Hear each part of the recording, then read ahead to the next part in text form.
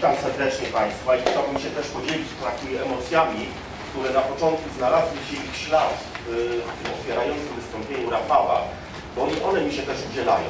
Mamy 10 lat takiej mordęgi, długiego marszu, w którym sukcesów jest niewiele. Czy jest sens y, zajmować się radami pracowników? Ja wierzę, że jest ten sens. Tak jak tiry na tory Szwajcarii trwały 20 lat, to jeszcze i może przed nami ta droga. My nie odpuścimy. My nie odpuścimy, będziemy w tym temacie obecni, będziemy czekali na wiatr historii, który wcześniej czy później w nasze żagle powieje i w Państwa żagle też, e, prawda? Nie teraz, to, to za kolejnym razem, kiedy, e, nie wiem, znajdą się wreszcie politycy, którzy zobaczą, że jest to korzystne albo dla Państwa, albo dla nich osobiście, nie wiem, e, po prostu e, to zobaczymy, chociaż być może już dzisiaj ten moment się zbliża. Ten akcjonariat pracowniczy e, w planie Morawieckiego jest to takie światełko tunelu, tunelu jak Rafał właśnie e, powiedział. Może coś z tego e, i dla nas będzie. Ja chciałem tutaj, tak na początku, widzę wiele twarzy, które znam, prawda, ze spotkań. E, I chciałbym po prostu wszystkich tak jakoś bardzo ciepło przywitać, ale nie ma na to czasu. Ja chciałbym tylko wspomnieć jedną osobę, e, której nie ma e, dzisiaj z nami, e, nie mogła dojechać. To jest pierwszy przewodniczący Rady Pracowników, który nawiązał z nami kontakt i był królikiem doświadczalnym. I jego rada dla właściwie wszystkich Państwa, to jest Jacek Kotula z Alimy Gerber z Rzeszowa, który y, został y, dyscyplinarnie przez pracodawcę zwolniony po licznych wcześniej próbach uspokojenia jego naganami, po których pracodawca przegrywał w sądzie. Yy, prawda, kiedy prac, pracodawca uznał, że opłaca się mu wyrzucić Jacka pracy i zapłacić wszystkie odszkodowania, żeby nie mieć go u siebie na pokładzie. Yy, prawda, jest to jakby yy, osoba yy, w związku z tym bardzo zasłużona ja dlatego postanowiłem jego nazwisko tutaj przypomnieć. Ci z Państwa, którzy brali udział w tych naszych spotkaniach, w tych warsztatach, to wiedzą, że bardzo często też jego nazwisko tutaj przypomina. E, Chciałbym krótko przejść do przedstawienia apelu Morawieckiego, zanim przejdę do sprawy e, ustawy. E, e, Co takiego jest istotnego, e, na czym polega to światełko w tunelu? Tak? W wizji premiera Morawieckiego, tak jak my je rozumiemy najlepiej, nie da rady wyjść, wyciągnąć Polski z tego kryzysu bez innowacyjnej gospodarki, której nie będzie bez identyfikacji się, identyfikacji pracowników z ich firmami, tymi, które wypracowują ten wzrost gospodarczy i, i jakby całą siłę ekonomiczną naszego kraju. Że e, jest, jest to, zostało to dostrzeżone, że e, musi powstać cała kultura innowacji. To nie jest tak, że innowatorzy się biorą z przypadku, prawda? Tak jak, nie wiem, meteory pospadają, jeden spadnie tu, drugi tam. E, Innowatorzy, osoby, które mają pomysły na nowe rozwiązania, one się biorą z kultury organizacyjnej, tak na, która sprzyja wyłanianiu się takich osób, która im ułatwia życie.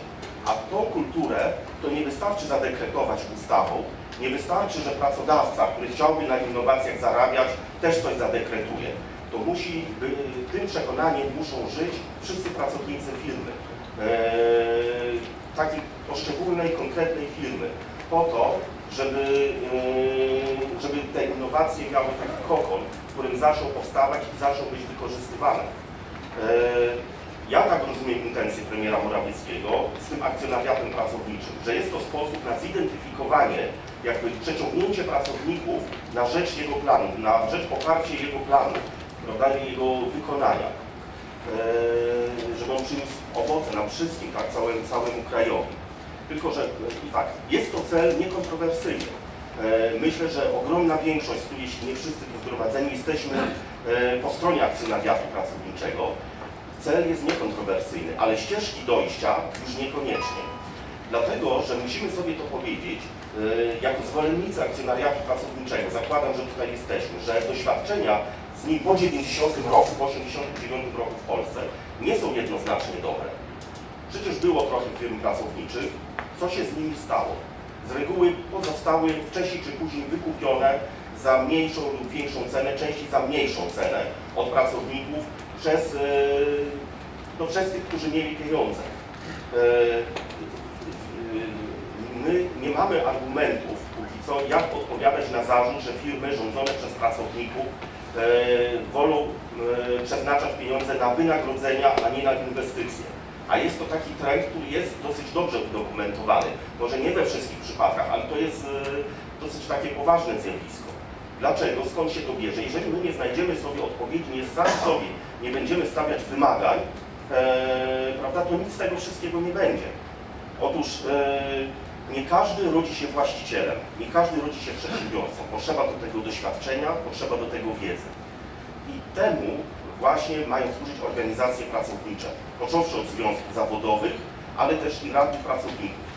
Ja chciałbym tutaj nawiązać do takiego mocnego doświadczenia, e, kiedy, e, e, kiedy była obchodzona 30. rocznica powstania rad pracowniczych jeszcze w czasach komunizmu, w stanie wojennym.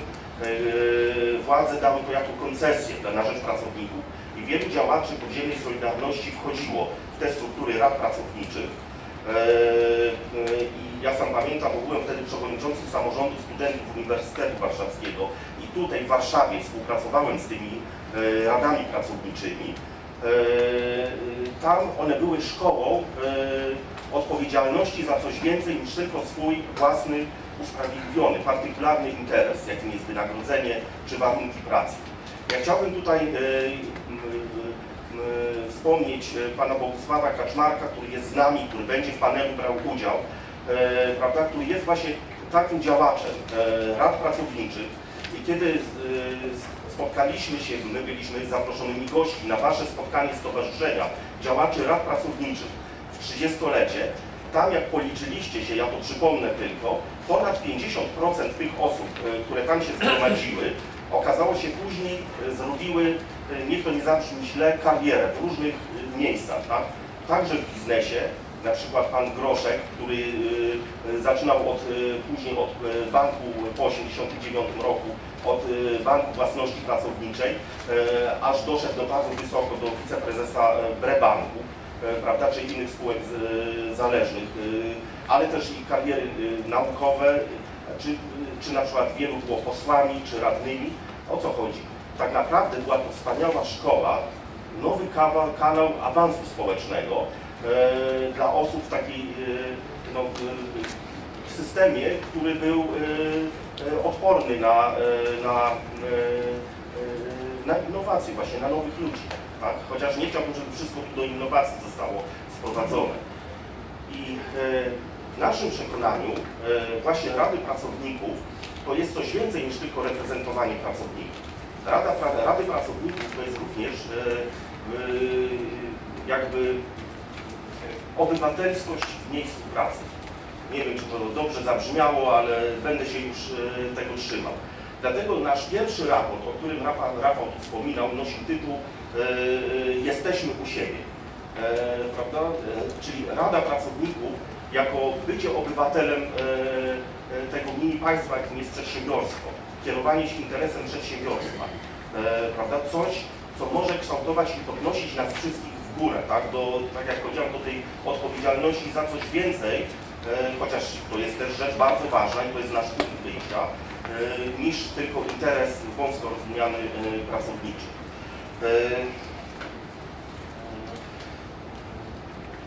I tak, dlaczego ja wracam jeszcze do tego apelu, który y, będzie Państwu tutaj rozdany do premiera Morawieckiego.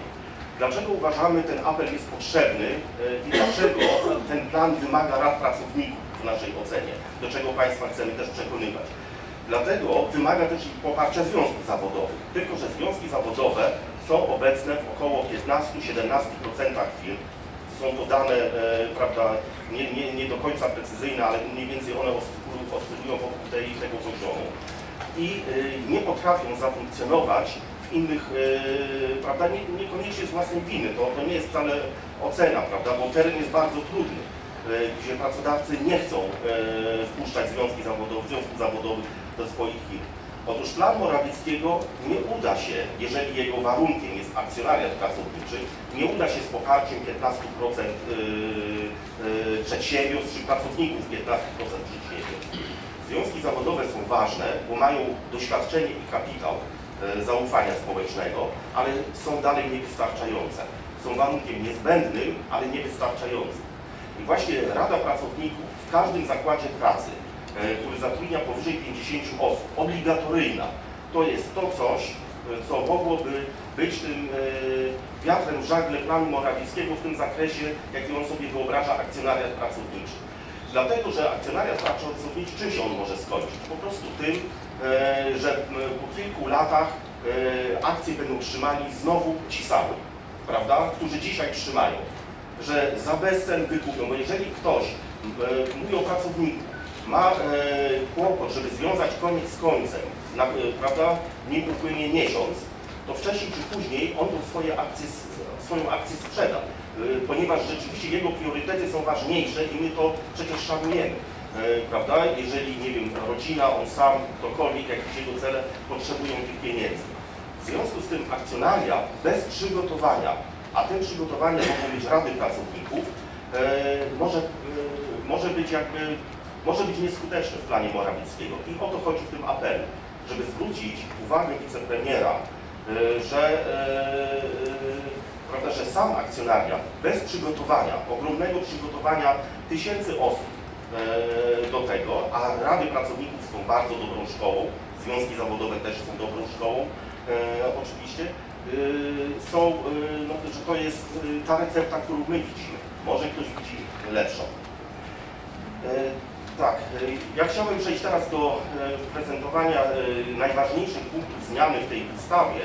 Natomiast jeszcze tutaj chcę tak zaznaczyć jako linki między planem Morawieckiego, czy tym dotychczasową wypowiedzią, a przedstawieniem, przedstawieniem zmian w ustawie. Jakie powinny być relacje między Radą Pracowników a związkami zawodowymi?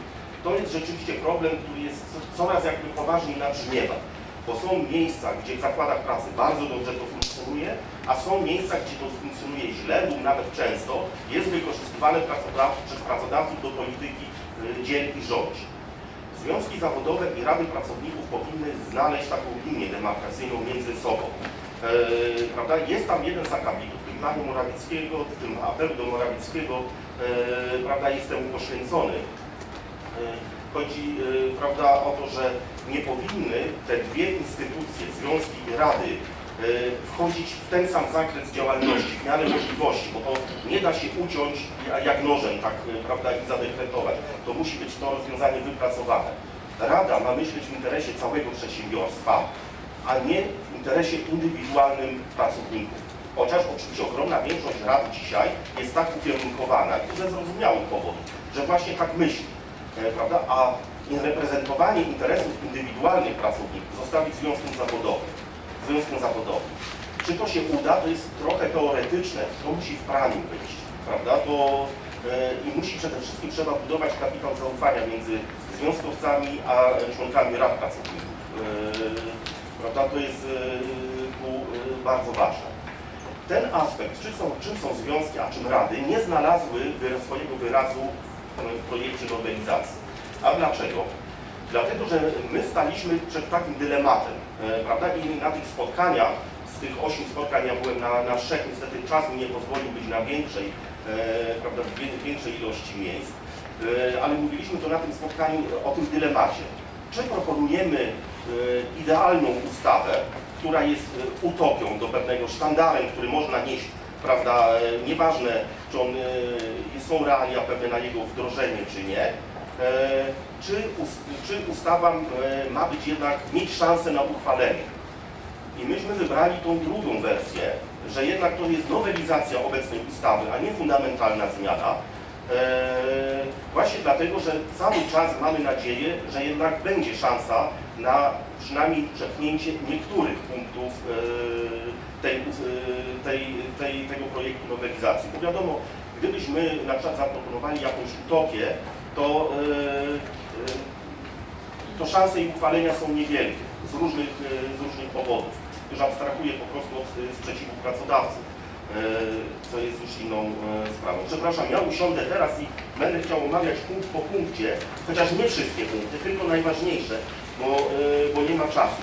będę powoływał numer artykułu, gdzie ja uważam, są to istotne zmiany. Jeszcze chcę raz zaznaczyć, że tak jak my byliśmy, na, te spotkania przebiegały i w momentach takich kontrowersyjnych przeprowadzaliśmy głosowania w państwach, gdy nie było jednomyślności. No i tak się złożyło, że w różnych miastach były czasem przeciwne wyniki głosowań. Prawda? Yy, yy, nie można było po prostu często pożenić obydwu rozwiązań, bo trzeba było iść albo w lewo, albo w prawo. No, my tutaj staraliśmy się wybrnąć e, tak, jak wybrnęliśmy, prawda? Nie wszyscy być może będą satysfakcjonowani, prawda, że może czasem nie znajdą swojego stanowiska, e, e, odzwierciedlenia swojego stanowiska w tym projekcie, prawda?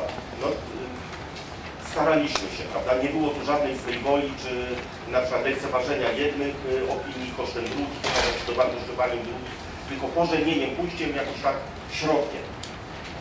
I tak, po pierwsze, proponujemy nowelizację artykułu 13 ustawy, który definiuje, czym jest informacja, co, co pracodawca powinien dawać Radzie Pracowników. Wiemy o tym, że tak, obecna redakcja tego artykułu jest fatalna dlatego, że ona jest enigmatyczna i jest, tak naprawdę zostawia przewagę komu? Temu, kto ma silne wsparcie prawne. Bo można po prostu z takich enigmatycznych zapisów wyczytać, że Radzie się należy wszystko lub nic. E, prawda? I, e, to jest e, naszym zdaniem niedopuszczalne i ustawodawca tutaj, e, no, e, jest to jakiś ogromny zawód w stosunku do ustawodawcy, który nawet w rozumieniu neoliberalnym powinien być nocnym stróżem, nie powinien prawda, ingerować w gospodarkę, w relacje między ludźmi, prawda, ale powinien być nocnym stróżem. Otóż w tym zapisie nawet zrezygnował z roli nocnego stróża. Dlaczego? Dlatego, że zostawił rady pracowników, czy to samodzielne, czy związkowe, wszystko jedno, vis-a-vis -vis pracodawcy uzbrojonego w rzesze prawników, pieniądze na obsługę prawną, a nie, dał, e, nie wyposażył Rady Pracowników e, jakby w narzędzia do bycia partnerem wobec pracodawcy.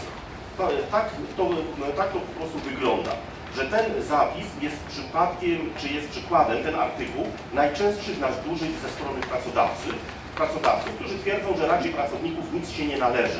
Tak to no oczywiście ja teraz upraszczam e, bardzo, ale rozumiecie Państwo tą licencja poetyka, prawda? W pewnym, yy... Otóż my proponujemy zastąpienie tego artykułu artykułem istniejącym w innej ustawie o Europejskiej Radzie Zakładowej. Dlatego, że y, to jest zapis, y, który dotyczy w Polsce chyba nie wiem, czy kilkudziesięciu przedsiębiorstw. Y, bo w Państwa zakładach pracy, które mają są z kapitałem zagranicznym unijnym, to są przedstawiciele w Europejskiej Radzie Zakładowej, ale w spółce matce, gdzieś tam za granicą, prawda, działają na podstawie tamtej, tam, ustawy tamtego kraju. To dotyczy polskich przedsiębiorstw, które e, spełniają te warunki i jest ich Polsce tak naprawdę niewiele. Nie wiem, a to jest moja intuicja i może być ich maksimum kilkadziesiąt. Dlatego e, tam jest ten zapis, że Europejskiej Radzie Zakładowej należy się to, a to. E, prawda? Jest, e, my tu wszystko przepisujemy. My przepisujemy istniejący e, artykuł, którego nikt do tej pory nie kwestionował ani przed Trybunałem Konstytucyjnym, ani pracodawcy nie mówili, że źle funkcjonuje lub inni interesariusze. Więc dlaczego nie przepisać coś, co działa? Prawda? Ja bym chciał usłyszeć, kto y, wystąpi przeciwko nam i powie, że nie, ten zapis jest zły, który my proponujemy, skoro on jakby przeszedł przez wszystkie biura legislacji, prawników i tak dalej i nikt go nie kwestionuje. Przepiszmy ten, bo dlatego, że ten artykuł z Europejskiej z ustawy o Europejskiej Radzie Zakładowej jest dużo lepszy niż e, ten nasz obecny. Na, była dyskusja e, chyba na dwóch spotkaniach, na których ja brałem udział, prawda, że to jest za mało. No to jest nasz, właśnie taka propozycja naszego małego realizmu. Jeżeli byśmy e, poprawili i jakby zradykalizowali ten zapis artykułu, to się pojawią zarzuty prawne, że to jest niezgodne z konstytucją, z dyrektywą, cuda nie prawda? Wszyscy będą mieli coś przeciwko temu prawda? I się narazimy na dyskusję prawną i wiadomo, na koniec decyduje ten, kto ma władzę. Yy, tymczasem yy, w związku z tym postanowiliśmy pójść trochę po mniejszej linii oporu i zaproponować przepisanie artykułu, który istnieje. Bo co nam Henryka Bochniarz na to odpowie? Prawda? Jakby nie chciała tego uchwalenia. Przecież już pracodawcy podpisali się pod Europejską Radą Zakładową, pod tamtą ustawą. Nie zgłaszając sprzeciwu, proszę, yy, prawda, anty, prosimy o to samo w przypadku tej ustawy. Czyli to jest artykuł 13 o dostęp do informacji. I to jest sprawa no, naprawdę bardzo kluczowa, wiem o tym, nie muszę przekonywać. Następny e, artykuł, e, na który chcę zwrócić uwagę, e, z tych istotniejszych, to jest zniesienie wniosku 10% załogi o powstanie Rady Pracowników. To jest ten hamulec, który niszczy, który blokuje powstawanie rad pracowników tam, gdzie nie ma związków zawodowych. Jest bardzo niewiele rad pracowników w firmach, gdzie nie ma związków zawodowych. Bardzo, bardzo niewiele. Tam, gdzie są związki zawodowe, one e, mają działaczy, mają, no są, e, mają kompetencje, e, mają jakby, potrafią przeforsować. Jak słyszeliśmy zresztą tutaj z wypowiedzi, prawda, jednego z przedstawicieli, prawda, jak związkom była potrzebna rada, to ją utworzyły. No, Oczywiście to jest zrozumiałe, prawda?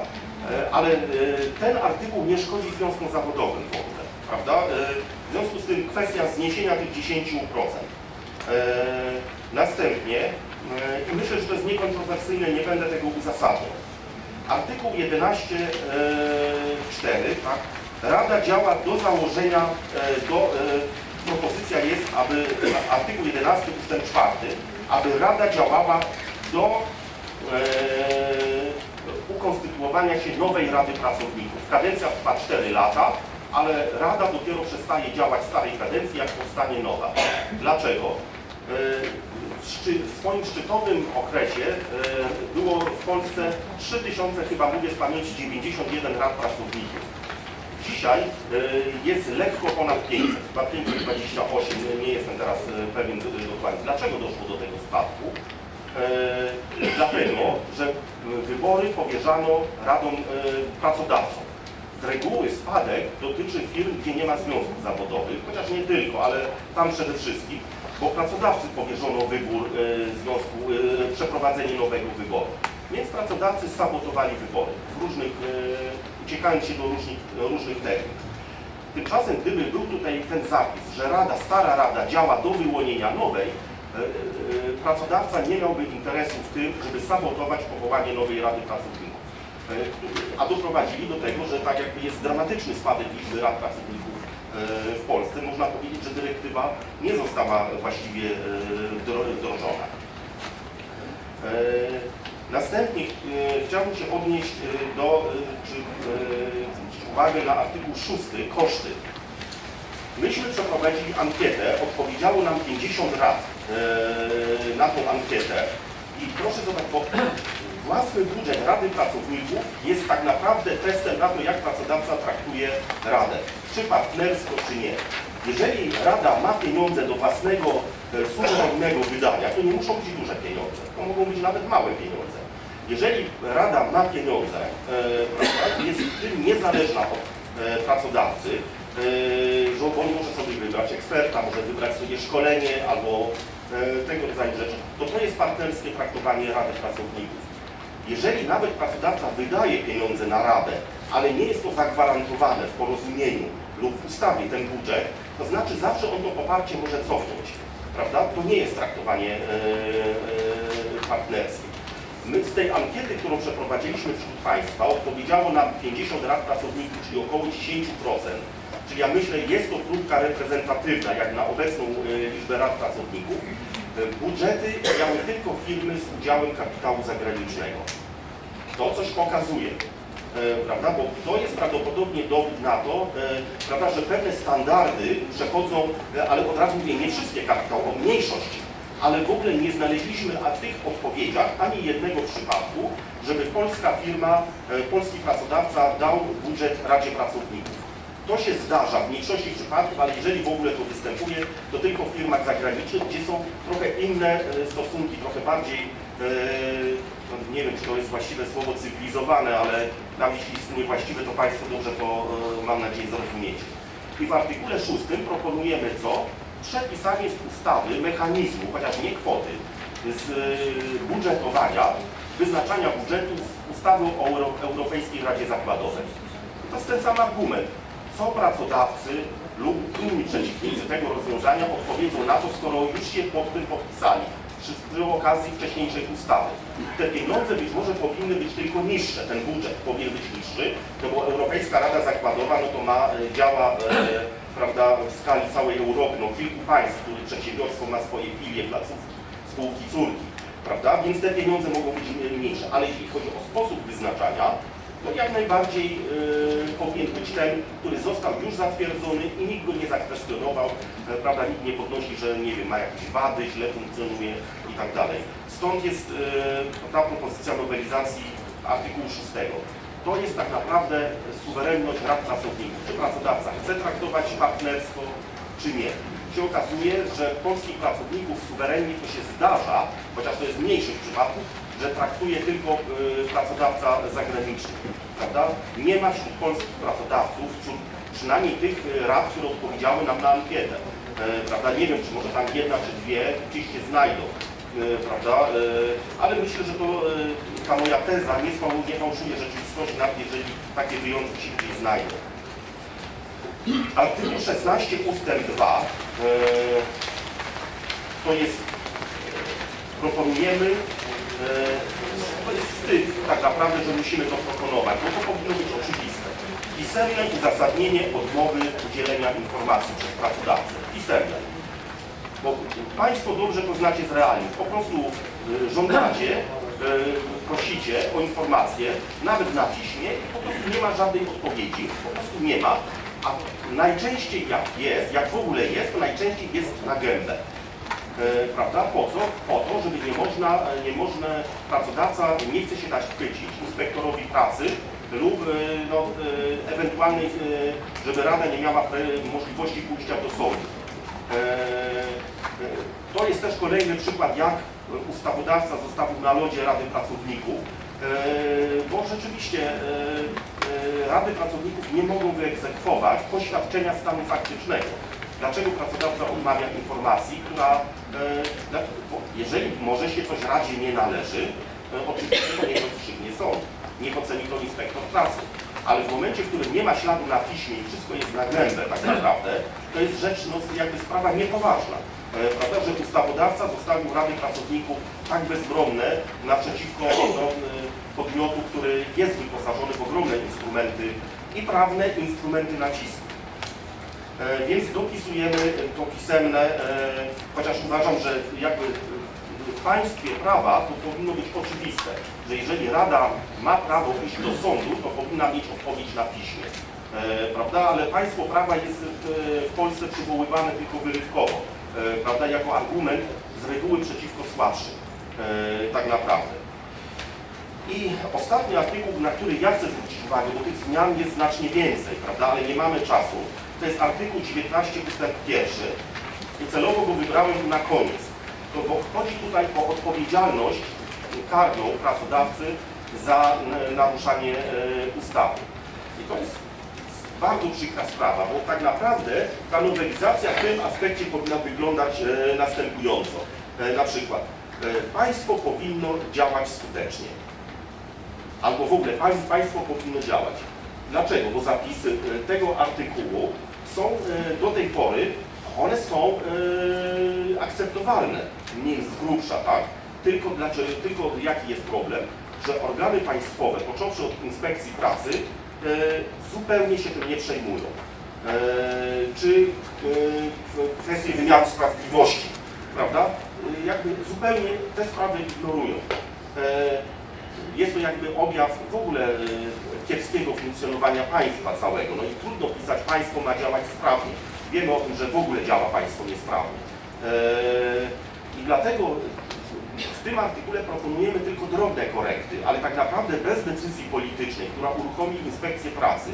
Ja w tej chwili e, e, prawda, kieruję przedsiębiorstwem, które, podmiotem, który zatrudnia 2000 osób.